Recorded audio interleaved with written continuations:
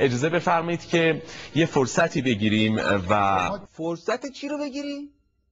ادب نداری تو رشید پور؟ مگه تو جوب بزرگ شدی؟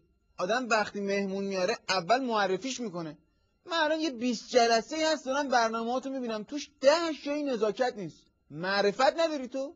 بذار حالا خیلی شیشه شفاف دیگه خیلی بی معرفت شدیم خیلی بی معرفت شدیم شاید همینو بشه گفت نه فقط همینو نمیشه گفت خیلی چیزای دیگه هم میشه گفت. بی معرفت شدی بی مرام شدی بی ریخ شدی بی صفت شدی بی وجود شدی اصلا هرچی بی تو دنیا هست شدی. اونجوری من نگاه نکن. اصلا از خود دفاع نکن از خودم دفاع نکن. نه نه دفاعم نکنم چشم. دستام بالا و عرض بکنم که بابا زوزنقه کوچی مگه برنامه مثلث شیشه ای نیست؟ خب شفاف صحبت کن. هم چی آکواریومی من خودم رفیق جونجونی امام بودم. نداره ندار. تو کار سینما هم هستم.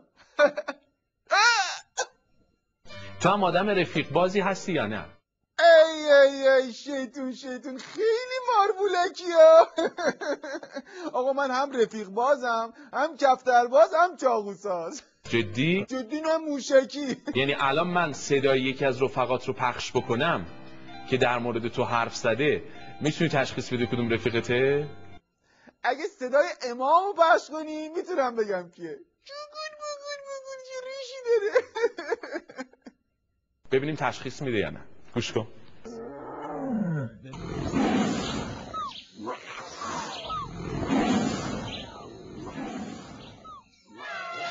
امامه. جان تو امامه. می‌خوام سر به تنت نباشه امامه. بابا امامه دی بابا بابا امام بابا چه بود؟ ابا اک اک بودیم بابا با شبا می‌رفتیم تو خیابون این صدا بر ملت در می آوردیم. آره بود امامه امام. رفیق بودیم با هم دیگه.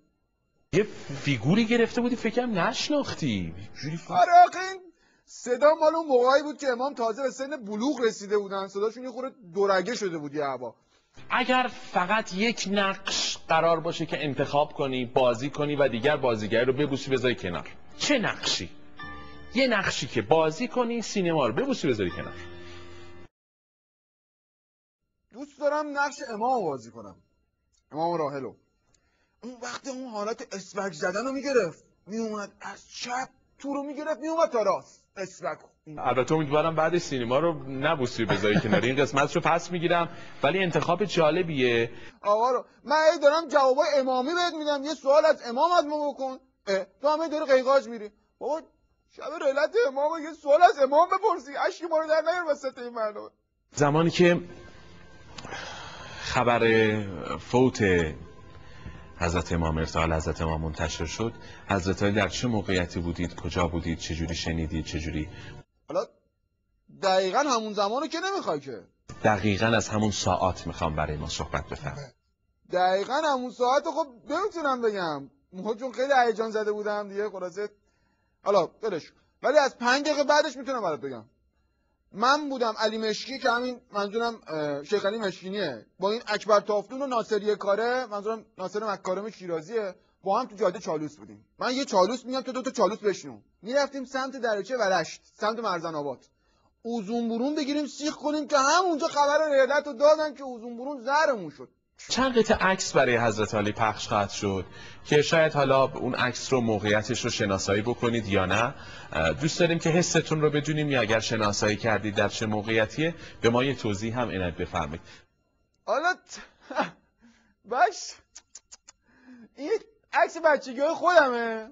اون یکی هم آقا محموده. همین آقا محمود احمدی نژاده. همونطور که می‌بینید حالت چهره امام یه وضعیت منقبضی داره. یعنی خورده گرفتن. یعنی یه چیزی ارتحال شده صحنه براشون. علتش این بود که آقا محمود از فرصت استفاده کرده بودن و چون کلا اصالتا ایشون بی ترمز هستن یه یادگاری قشنگ رو لباس امام گذاشته بودن این خیابون یادگار امام هست؟ یا سایر یادگارهایی که امام خلاصه تو کل منطقه گذاشتن. حضرت امام برخوردشون با بچه هایی که چون می‌دونم خیلی هم میبردن که حضرت امام کودکان رو در آغوش بگیرن عکس بگیرن. برخورد حضرت امام چجوری بود بابا؟ برخوردشون یه برخورد قاطع بود. درست مثل همون برخوردی که با یاوهگویان شرق و غرب داشتن. تو این عکس هم آقا محمود شرقشون بود. منم که سمت غربشون نشسته بودم دیگه. اون چنان برخورد قاطعی با من غرب نشین کردن که تا 20 روز نمی‌تونستم سر جام بشینم. اتفاقا الان هم سر همین موضوع مشکل دارم سر نشستن. بسیار خوب. عکس بعدی رو محبت بکنن دوستان من. عکس خیلی جالبی شاید از زندگی خصوصی حضرت امامه این عکس از کجا گیر آوردی؟ با من خودم این عکس ندارم. البته می‌دونی که من این عکس خودم گرفتم. زاویه اونریش معلومه. ولی خب می‌دونی که اینجا امام رفت برای بچه چایی بریزه رفت سماور روشن کنه. ای کبریت زد. ای کبریت زد. ای کبریت زد. یو بطول خانم خانواده آقا مصطفی گفت رولا. گفت بله. گفت سماور برقیه. که اونجا امام شاکی شدن با صدای بلند داد دادن خفه. خفه. نه شرقی نه غربی. لاکن سماور برقی. برو سوال برقی. حاج آقا بخواید سه تا کلمه نسبت به این عکس بگید.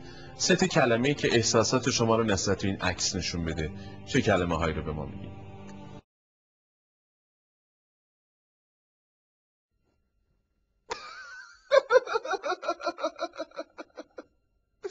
عکس تشریح جنازه امامه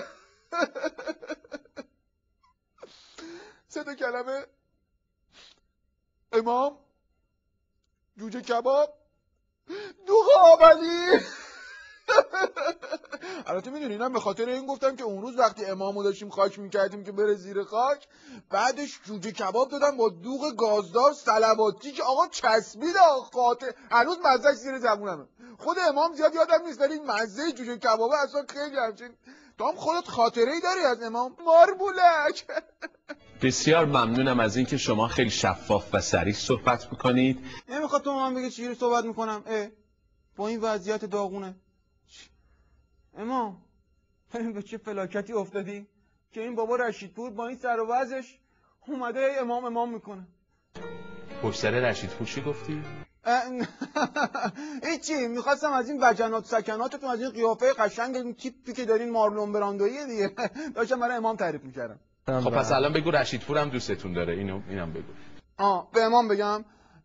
امام این بابا میگه دوستت داره. امامم اه، ف- جواب دادن جواب دادن. البته این جوابشون رو بارها بارها گفته بودن. گفتن که دوستت ندارم به انزه اقیانوس. چون یه روزی تموم میشه. دوستت ندارم به انزه خورشید. چون غروب می‌کنه. دوستت دارم به اندازه روت که هیچ وقت کم نمیشه. عین سنگ پا قزوین میمونه. مارمولک. فقط ده 20 ثانیه فقط فرصت داری. ولی تو خیلی مارمولکی ها این جمله آخرم اگه اجازه بدی من رو به بیننده های عزیز بگم عرض کنم خدمتتون که کدوم دوربین اینه؟ عرض کنم خدمتتون که در وصیت‌نامه امام راحل این جمله خیلی معروفه که میفرماید اینطور نباشد که ما کنیم ارتحال بقیه کنن اشغال. اپی ارتحال تو یو